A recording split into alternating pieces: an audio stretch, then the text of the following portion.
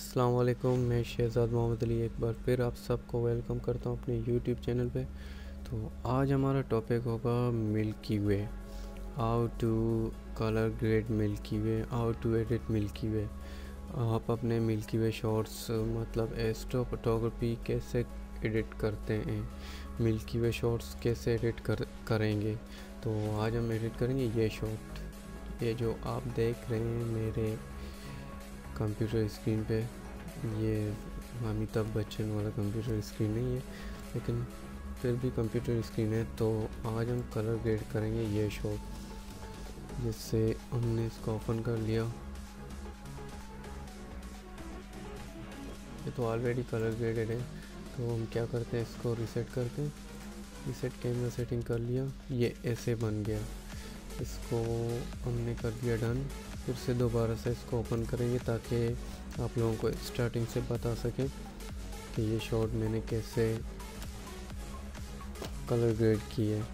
तो इस शॉट की कलर ग्रेडिंग देखें, इसमें हाईलाइट बहुत हैं।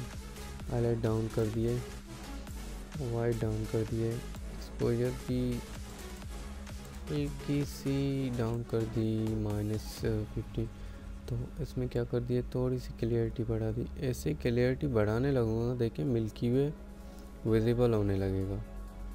जितना क्लियरिटी बढ़ाऊँगा मिल्की वे विजिबल होगा। जितने शेडोज बढ़ा रहा हूँ मिल्की वे ज़्यादा विजिबल हो रहा है। जैसे कंट्रास्ट बढ़ा रहा हूँ मिल्की वे विजिबल हो रहा है।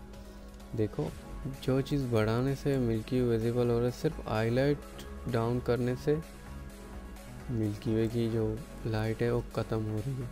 तो उसका टोन थोड़ा चेंज करते हैं मतलब टेम्परेचर टेम्परेचर हम माइनस टेम्परेचर सॉरी माइनस बोल दिया three hundred three thousand seven hundred कर लिया। वैसे भी आप जब भी शूट करेंगे, मिल्की वे आपका कैलविन थे कि मेरा भी three thousand eight hundred fifty था। तो आप जब भी मिल्की वे शूट करेंगे तो आपका kelvin under four thousand under four thousand क्योंकि वो आपको तब जाके कूल देगा। तो उसके बाद, हमने सोचा थोड़ी सी इसको इसमें टेंट ऐड कर दें। टेंट हमने कितनी की? प्लस सेवन प्लस सेवन के बाद हम आ गए, आपका अल्लाह भला करे, यहाँ पे सिलेक्शन बना दिया। सिलेक्शन किस चीज़ का बना दिया? पूरे मिल्की वे का। मतलब पूरे स्काई का सॉरी पूरे स्काई का सिलेक्शन बना दिया। यार, मेरी उर्दू थोड़ी सही नहीं है तो इग्नोर कर देना। लिहाजा प्लीज़ क्योंकि कुछ मसले हैं उनकी वजह से उर्दू सही नहीं है। ये मेरे जितने दोस्त हैं, उनको पता है कि मेरी उर्दू सही क्यों नहीं है। चलो आहिस्ता आहिस्ता हो जाएगी, इंशाल्लाह। कोशिश करूँगा। ये सबसे पहले हम इन सबको माइनस करते हैं। ज़ीरो पे लेके आ गए सारी चीज़ें।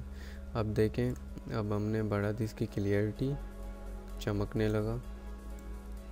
डी एस डी एस से देखें डार्कनेस बढ़ने लगी और हाईलाइट ज़्यादा ब्राइट हो गए।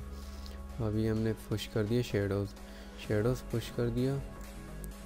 और थोड़ी सी ब्लैक पुश कर दी। उसके बाद फिर हमने क्लियरिटी पे थोड़ा ज़ोर दिया। फिर हमने बढ़ाई कंट्रास्ट और ब्लैक थोड़ी सी डाउन करते हैं। ये। ये इमेज इससे ये हो गई।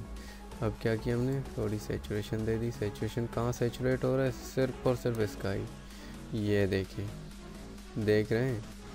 ऐसे होता है स्काई सेचुरेट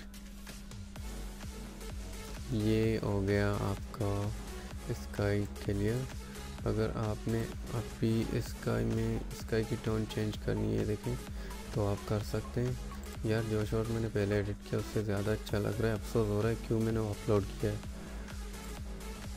ये देखें, ये होता है आपको फ़ायदा। आप जितनी प्रैक्टिस करोगे, उतनी आप में इम्प्रूवमेंट आएगी। ये आज साबित भी हो गया मेरे लिए। अफसोस यार, ये अपलोड नहीं करना चाहिए था मुझे। तीन चार बार एडिट करने के बाद अपलोड करना चाहिए था ये शॉट मेरे लिहाज से तो ये शॉट फाइनल है। अगर आपके शॉट में कभी ग्रेन्स आ रहे हैं, ये भी मैं आपको बताता हूँ। यहाँ आप आएँगे, ये आपका रहा डिटेल डिटेल में आप आएँगे डिटेल में ये होता है कि आपके डिटेल में क्या क्या चीज़ें हैं आपके पास? डिटेल में शार्पनिंग होती है। शार्पनेस आप बढ़ाना चाहें या कम करना चाहें, ये देखें। अगर मैं बढ़ाने के लिए जाऊँगा तो इसमें शार्पनेस आ जाती है। डबल क्लिक करके इसको माइनस फोर्टी परसेंट कर दिया जो इसका बाय डिफ़ॉल्ट होता है, वही है। अगर आपके शॉट में ग्रेन्स आ रहे हैं तो आप ल्यूमिनेंस बढ़ा के, ल्यूमिनेंस बढ़ा के आप अपने शॉट के ग्रेन्स ख़त्म कर सकते हैं। देखिए। अगर मेरे शॉट में ग्रेन्स नहीं है। बहुत बहुत माइनर है, ना होने के बराबर है। इसीलिए मैंने यूज़ किया था नाइकॉन डी सिक्सटीन और इसके साथ मैंने लेंस यूज़ किया था सिग्मा पंद्रह एम एम पेशाई पेशाई पंद्रह एम एम पेशाई सिग्मा का एक लेंस होता है उसका साइज़ बहुत छोटा होता है। वो 180 डिग्री वाइड होता है मतलब 180 डिग्री आप सोच सकते हैं। मिल्की वे की जो पूरी आर्च है ना ये, इसको आर्च कहते हैं। ये पूरी आर्च दिख रही है एक शॉट में। तो इसको बनाने के लिए, इसको बनाने के लिए काफ़ी टाइम लगता है इस आर्च को कंप्लीट करने के लिए। ये देखिए मेरा सिस्टम थोड़ा हैंग हो गया, जिसकी वजह से इसने लिमिनस बाद में अप्लाई किया है। बाद में अप्लाई कर दिया। ये पता चलो, उसने अच्छा अप्लाई कर लिया। ये इफ़ेक्ट आता है। आप अगर नॉइज़ रिड्यूस करना चाहें तो आपके नॉइज़ ऐसे रिड्यूस हो सकते हैं। बाकी यार, सही हो जाओ भाई। क्या हो गया?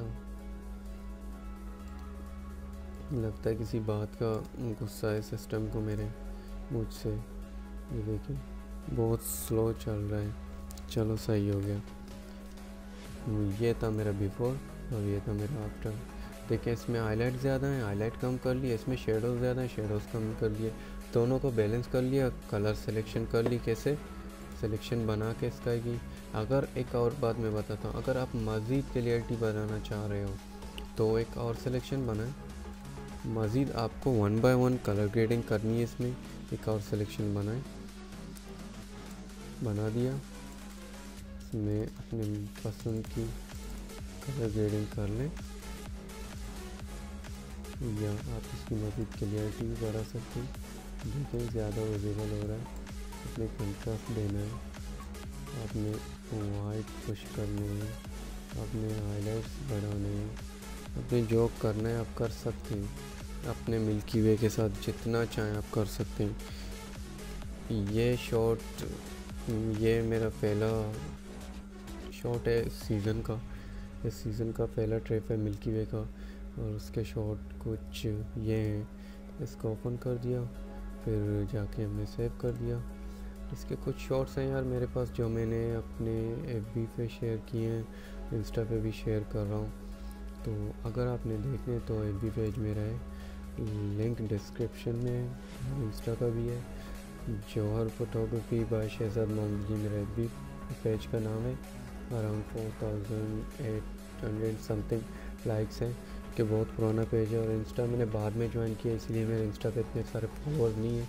और ये रहा शॉर्ट इस पर हमने लोगों पेस्ट करना है और सेव करना है। That's it thank you for watching Allah हाफिज़, ख्याल रखें अपना। ज़ाहिर सी बात है यार, अब बार बार मुझे बोलने की ज़रूरत नहीं है। शेयर करें अपने दोस्तों के साथ ताकि वो भी सीखें। अल्लाह हाफिज़।